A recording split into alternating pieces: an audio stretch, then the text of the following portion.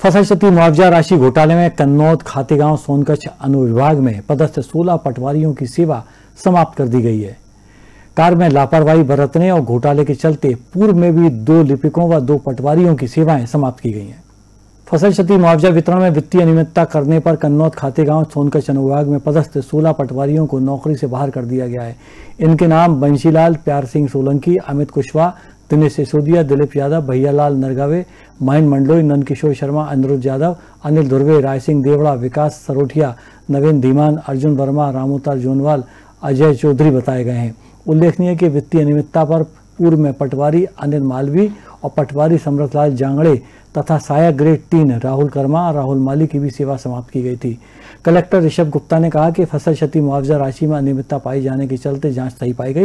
उक्त मामले में 18 पटवारी व दो लिपिक सहायकों को दोषी पाया गया जिनकी सेवा समाप्त कर दी गई है।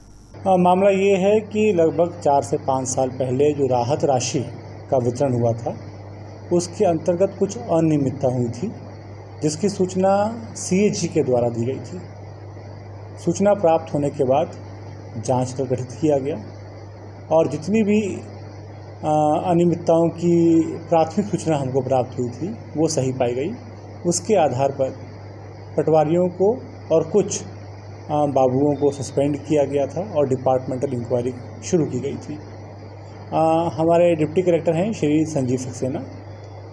उनकी अध्यक्षता में डिपार्टमेंटल इंक्वायरीज हमारी पूरी हुई और उनकी रिपोर्ट्स एस को भेजी गई। डिपार्टमेंटल इंक्वायरी में जो लोग असली में दोषी पाए गए, उन पर संबंधित एस के द्वारा कार्रवाई की गई है।